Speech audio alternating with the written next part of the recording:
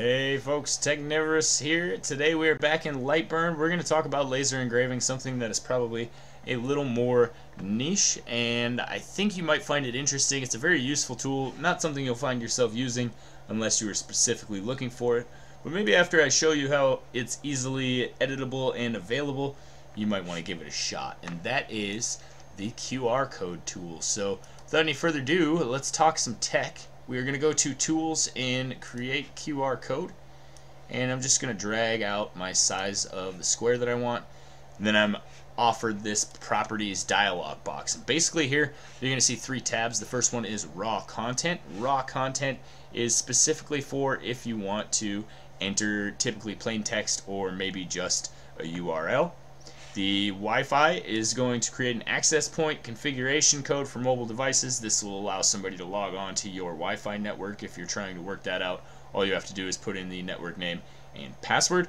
And the other one is a contact, which basically creates a contact card code, which will load contact info into somebody's phone if they highlight it. So uh, these last two are great for business cards or signs on a workplace door.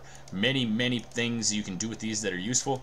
I'm interested in the raw content box. So we are going to say, you can see the QR changing down there with what I type, type in. And, oh, I want to be able to, I want to spell it right here. We'll throw in my YouTube address.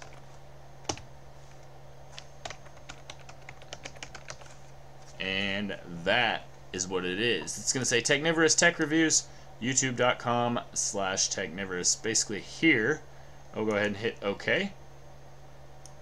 And I now have my object. So yours isn't going to show up like this, and the reason for that is because I have mine selected in Tools. So let's go to a cutting layer to ensure that it cuts it, and we can go ahead and zoom in a little bit and select it.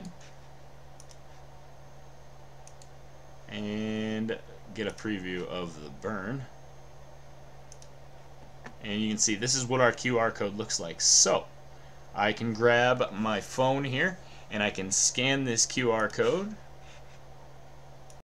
And then all we're going to do is open up Google Lens here on our mobile device and click search with camera. You get this handy box you can click on and when we do that it will look for results and you can see our search results say Technivorous Tech Reviews with our YouTube channel. So pretty handy, pretty cool little tool. You can now burn this QR code into pretty much anything that you're capable of burning with your laser and it will be readable and usable by people who are walking by or who it may happen to catch their eye. So really, really cool and underutilized tool. One of those things that Lightburn throws in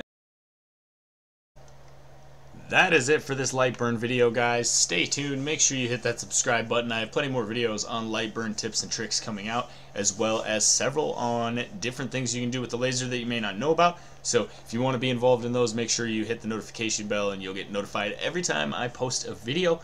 I also do a lot of 3D printing around here, and I'm obsessed with pretty much everything tech. So if that sounds like you, make sure you smash that subscribe button, and we will see you in the next one, guys. Technivorous out.